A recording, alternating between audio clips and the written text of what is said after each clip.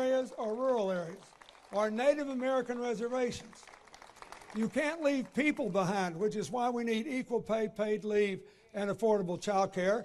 It's why we need why we need immigration reform. We need to stop playing politics with immigrants. Our youth and diversity are our meal ticket to the future. That's why we need to put this issue behind us as a politi- political issue and lift the human potential of all Americans. It's why.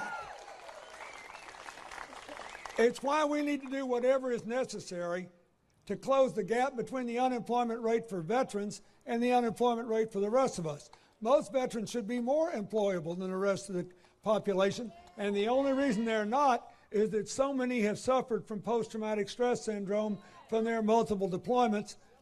That's why when Hillary says we need a $10 billion community mental health program to deal with the epidemic of prescription drugs and heroin, but also to deal with the continued troubles that veterans have, you need to know that's an economic strategy. It's not just a decent, humane, honorable thing to do. It will unleash the potential of millions of your fellow citizens who can contribute to our future. Sentences that are too long for crimes that are not serious, we should give them a chance to begin again.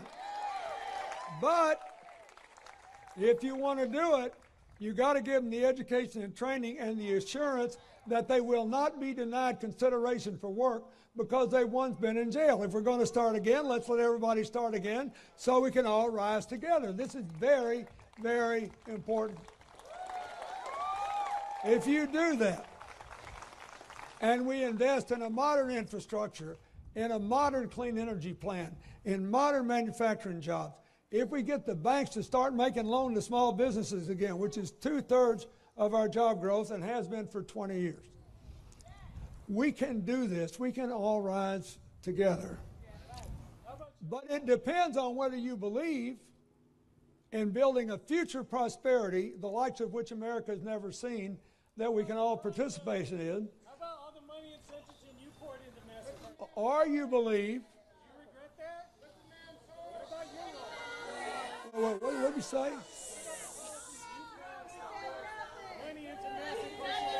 Whoa, whoa, whoa, whoa. Okay, let's talk about that. No, no, no, just a minute. Now, if I talk about it, will you let me talk instead of interrupting me?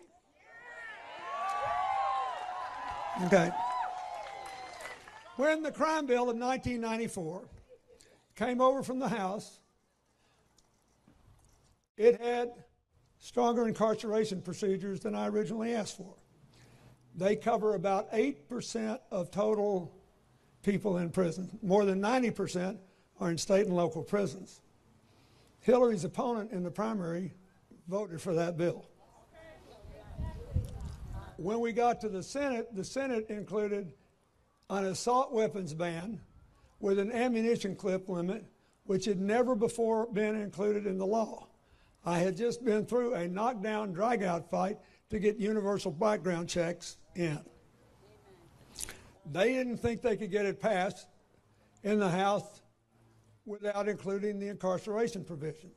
Over one year ago, I went to the NAACP, before I think, before Hillary even declared for office, and I said, the federal crime bill overdid that incarceration business, and we need to let a lot of these young people out. Many years ago, I myself commuted the sentences of a lot of people who were put in prison for drug offenses that were excessive. And President Obama is basically completing the cycle of what we cited then. So, yeah, we didn't do everything right. But I did get the American people. Now, don't interrupt me. You said you wanted me to talk. So, first of all, there's only one person that didn't vote for that, and that's Hillary, not Senator Sanders. She didn't vote for it. Number two, and most important, look at what you did get. You got community policing. You got after school programs and night programs for young people who are in trouble. And you got the lowest crime rate in 25 years, the lowest murder rate in 33 years, and the lowest death from illegal gun homicides in 47 years. So I thought that the lives we were saving mattered. I've never claimed that it was perfect. I just claimed that when you make laws, You have to decide if you're going to make the perfect the enemy of the good. And there's a lot of people walking around alive today because we had the lowest gun death rate in 47 years. And I'm proud of that. I'm proud of that. And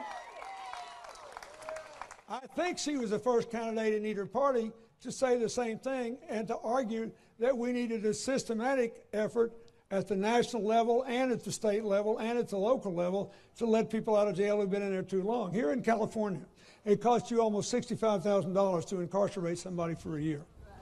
How many people could you educate here? How many children could go through this art center if we did that? So I think we're having a vigorous agreement. And I notice, I don't think it's right to look back and cherry pick my record and then try to blame Hillary with everything somebody disagrees with. If you're gonna, if you're gonna do that,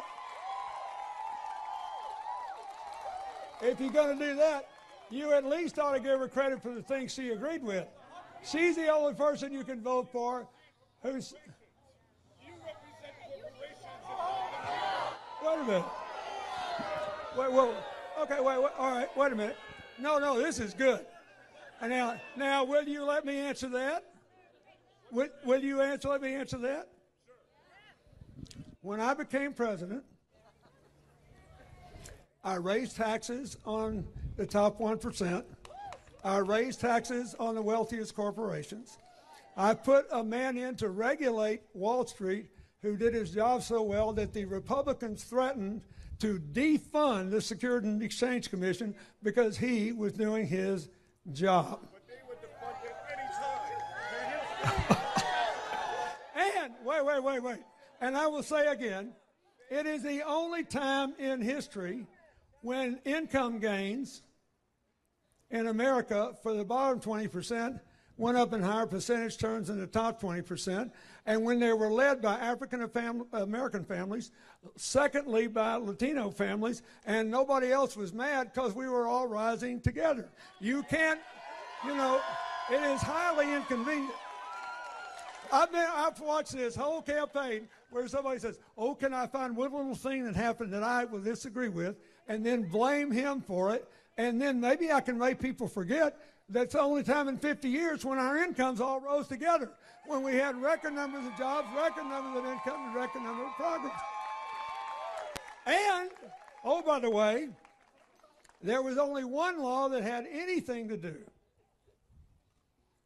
with the financial crash, and that's one that exempted from federal regulations these complex securities and derivatives.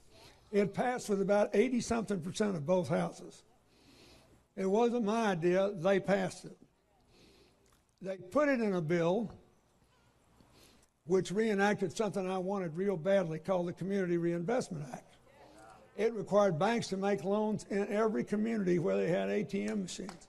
When I was president, more than 90% of all the loans made to ordinary people, including three times the loans ever made to minority owned businesses, more than twice the loans ever made to women owned businesses by the Small Business Administration. And the whole history of the SBA were made when I was president. That's one of the reasons we all ra- uh, rose together. So did I want it? Yeah. There was $800 billion worth of loans we'd already made under the Community Reinvestment Act. Now, it didn't cause any problems when I was there, but later when President Bush and the Republican Congress got elected and they stopped regulating things and nobody was home as the bank regulators and the SEC, it was a problem. But again, if you want somebody, there's only one person who didn't vote for it in the Democratic primary, but she wasn't in Congress. That was Hillary. Her opponent did vote for it. Do I have, have I ever one time accused him of wrongly doing something intentionally? Of course not. I think he made a mistake, but I don't believe he was in the tank. And this whole campaign has been some kind of weird attempt to say, let's don't look at what really happened, which is we all grew together. Let's look at what really happened, which is we moved 100 times as many people out of poverty when I was president and when Reagan was president. Let's don't look at what really happened that we tried to deal with this. Let's see if we can turn everything on its head, turn upside down, inside out, and backwards. I don't believe that. Now, if you want to know what the real problem with inequality is today, I was going to get to that.